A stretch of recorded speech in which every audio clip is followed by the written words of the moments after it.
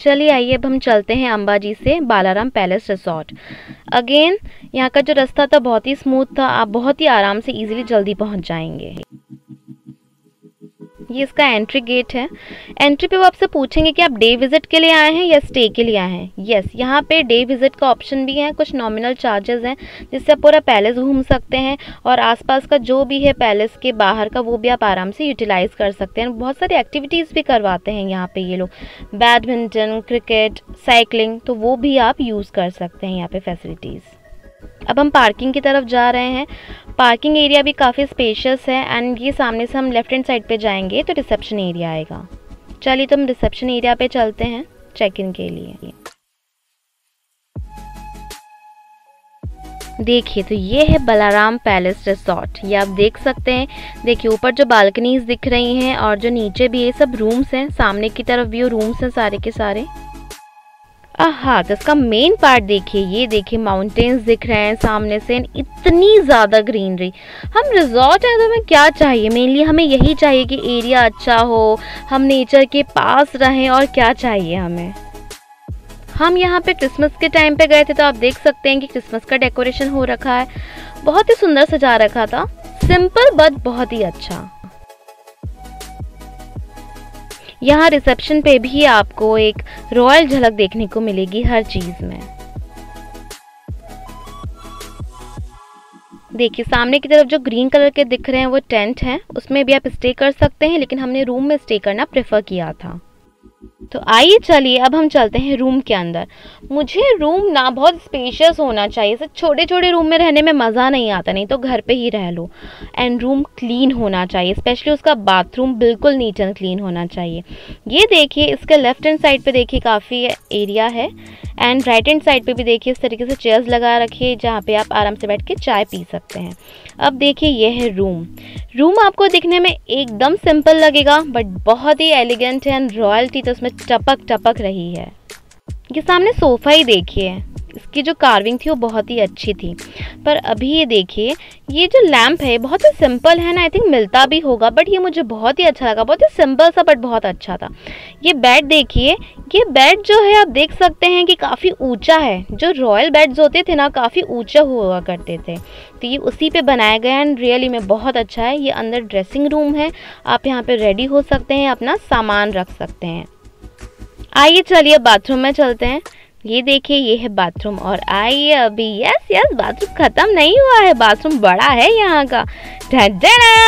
बच्चों ने देख लिया ना तो वो खुश हो जाएँगे। इनका पास ये है रोमांस करने का टाइम वुड कार्विंग इस पूरे रूम में मुझे बहुत अच्छी लगी। Five on five for the room अब रूम से बाहर निकल के अब हम देखते हैं आसपास का गार्डन गार्डन आप देख सकते हैं। देखिए कितना बड़ा गार्डन है। ओ माय गॉड एंड छोटी छोटी सी चीज़ें रखी हुई थी वो भी बहुत अच्छी थी। एंड uh, थोड़ा सा नीचे उतर के है देखिए। ये सीढ़ियाँ आपको सामने से दिख रही हैं पैलेस थोड़ा ऊपर है। एंड सनसेट हो रहा है सामने। क्या चाहिए? मतलब रिजॉर्ट आए और यही सब चीज़ें हो तो दिल खुश खुश हो जाता है। ये कैमल राइड है।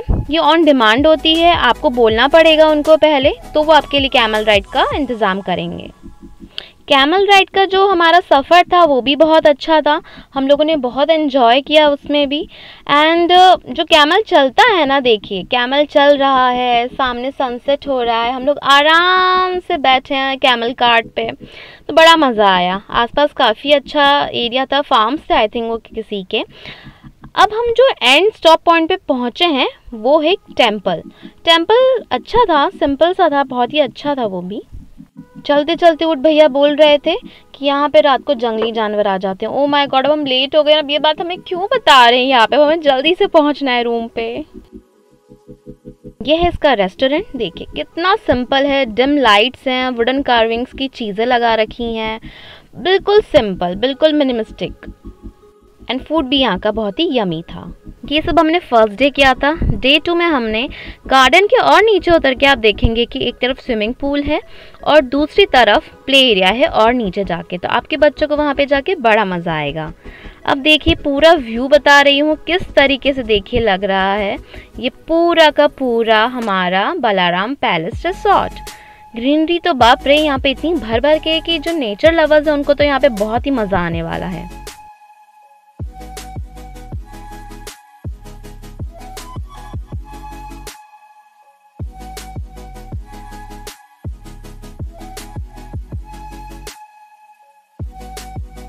साइकिलिंग भी कर सकते हैं, आप वहाँ पे साइकिल्स अवेलेबल हैं तो ये भी एक अच्छा ऑप्शन है यहाँ पे इनका व्हीकल भी है, जो ये पूरे पैलेस का आपको राउंड कटवाएगा और बताएगा कि क्या क्या है। अगर जो लोग नहीं जा सकते हैं, जिन लोगों ने रूम के बाहर निकल के नहीं देखा कि क्या क्या है तो वो इस चीज़ का बिल्कुल आनंद उठा सकते हैं और देख सकते हैं कि आसपास क्या क्या था।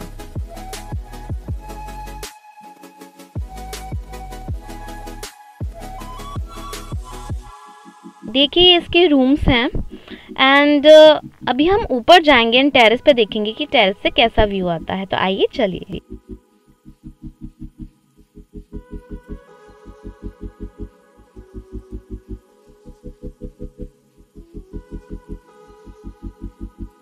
देखिए जो टेरेस है इस पर ये छतरियाँ बनी हुई है। एंड यहाँ से ये जो व्यू आता है वो भी बहुत अच्छा है। तो यहाँ पे आकर टेरेस पे ज़रूर आइएगा।